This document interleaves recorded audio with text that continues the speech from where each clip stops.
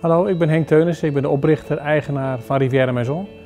En we staan hier in de flagship store van Rivière Maison op het Gelderlandplein in Amsterdam.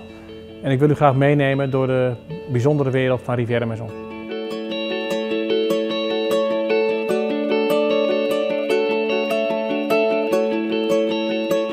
Ik heb een ontzettend leuk vak. Ik ben in de gelukkige omstandigheid dat ik voor mijn werk eh, mag reizen en al die, eh, die uh, fabrieken en die uh, werkplaatsen mag bezoeken. Als je dan bij bent hoe zo'n stoel gemaakt wordt, als je ziet het elk, de, de, helemaal het, frame en allemaal wat handgemaakt en gevuld en daarna worden de knopen erin gezet, van de achter aangetrokken. En als er een, van die nageltje in zit, dan worden met zijn hand erin getimmerd. Als je zo'n stoel krijgt, dan vind ik het gewoon heel leuk om te zien dat die echt een handgemaakte stoel is. En als je twee stoelen naast elkaar zet, dan zijn ze natuurlijk gelijk, maar ze zijn niet op de millimeter naar gelijk. Dus ook daar zit erin dat je erin een handgemaakt product hebt. De plootjes allemaal, de stikseltjes, allemaal met de hand gemaakt.